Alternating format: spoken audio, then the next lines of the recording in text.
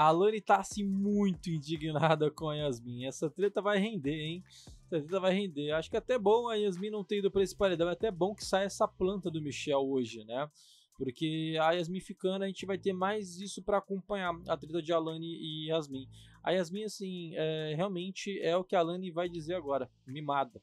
Ela chamou a Yasmin de mimada. Bora ver, deixa o like, se inscreva no canal, muito importante o apoio de vocês. Confere a sua inscrição, vê se você ainda está inscrito aqui no canal. Sempre deixa o joinha. Tá aí, né? Ah, é complicado, eu nunca achei que eu iria estar concordando assim bastante com a Alane, né?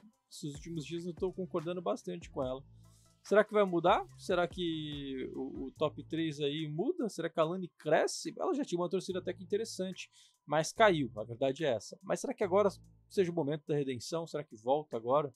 Não sei. Se continuar com esses posicionamentos aí, quem sabe? Não sei. Vamos lá. Eu, eu, eu, eu tô gostando, né? Opinião minha.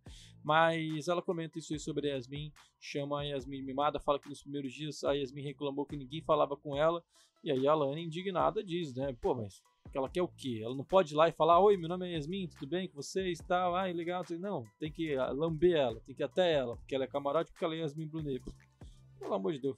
A, grande maioria das pessoas que eu conheço, e eu falei que a Yasmin Brunet era camarote, falei, mas quem é a Yasmin Brunet? O que, que ela faz? Ninguém conhece, é bolha, sabe? Mas aí são pessoas que acham que são famosas demais, porque página de fofoca vive falando dessa pessoa que na maioria das vezes a população nem conhece.